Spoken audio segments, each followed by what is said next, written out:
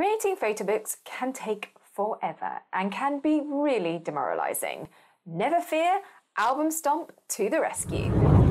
Hi, I'm Amanda Littlecott, the photo organiser, and I'm all about helping you preserve and share your precious photo and video memories without getting overwhelmed. If you're looking to rediscover life's special moments and protect them for future generations, then be sure to subscribe and click the bell to be notified every time I release a new video. I love creating photo books, but anyone who has tried creating a photo book on either a photo book company's own tool or on Photoshop or Adobe InDesign will know the pain of how long it can take. Enter AlbumStomp. It is a photo creation software tool that helps you create a photo book in minutes. Yes, it's amazing.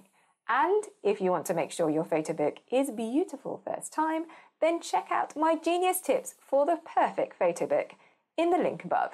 But I digress. Why use Album Stomp? A lot of photo book providers out there have their own tools, but they are not always great quality or easy to use. And most importantly, your album will be stuck in their tool forever.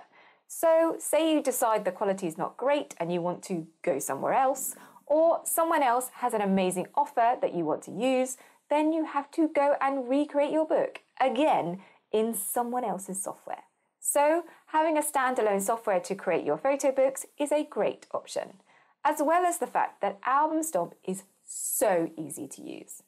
But one little watch out before you start using it, make sure that the printer that you are going to be using will accept JPEGs and PDFs as an input.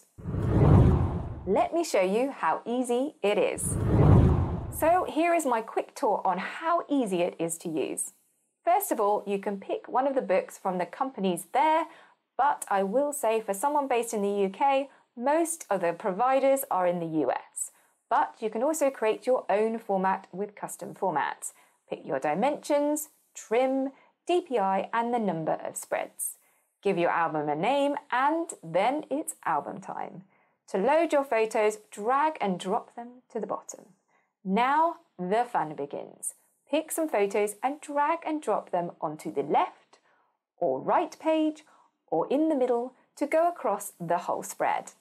Don't like the layout? Then mix it up or press the spacebar and it will cycle through various options for your photos to be laid out. Once you have your layout, maybe the photos are not in the boxes you want them.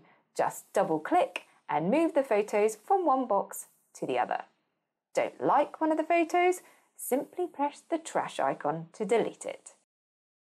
You can zoom in and out using the little slider at the top and then drag the photo around. But if you want to do a bit of custom cropping, then click on the little dashed square in the top right hand corner and drag the box around by hand or pick one of the cropping options. Then onto the next spread. It's that easy. Once you're done, click the stomp button and you can export as JPEGs or PDFs depending on the preferences you have set. I mean seriously, five minutes and you could be done.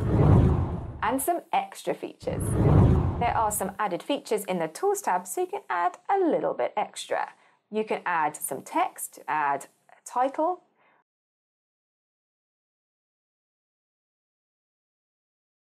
I am also a big fan of adding a little bit of colour. So you can add a box of colour either from the preset colours or pick a colour from one of your photos that will give it an extra special touch. It is also possible to add an image to the background by going to the background colour and adding an image. And if you are not happy with one of your photos and you want to edit them, you can link Album Stomp to your selected photo editing software. Edit your photo there and refresh it back in Album Stomp once you're done. Simple. So there you have it, your new favourite photo book creation software. And the best of all is you can download a version for free to see if you like it before you buy it. Epic. What other photo book creation tools do you love? Leave them in the comments below. Are you struggling to actually start organising your photos and videos? Don't know where to start? I have put together a simple, straightforward, quick start guide to organising your photos that's linked in the description below. So click through and I will see you there. If you enjoyed this video, go ahead with a like and a share. Have fun rediscovering your memories. I'll see you in my next video.